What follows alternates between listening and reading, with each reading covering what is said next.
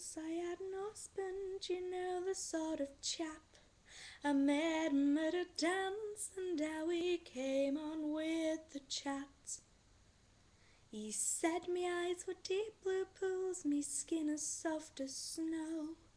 He told me I was sexier than Marilyn Monroe, and we went dancing. We went dancing.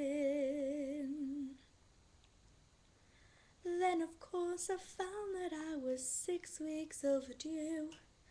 Got married at the registry, and then we had to do. We had curly salmon sandwiches, and how the ale did flow. The bride they said was lovelier than Marilyn dancing. We went dancing. Then the baby came along, we called him Darren Wayne.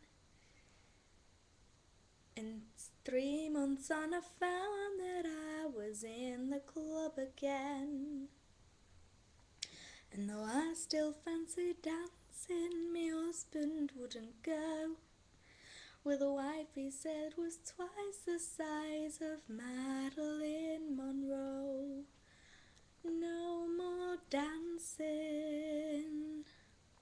no more dancing. By the time that I was 25, I looked like 42 with seven hungry mouths to feed and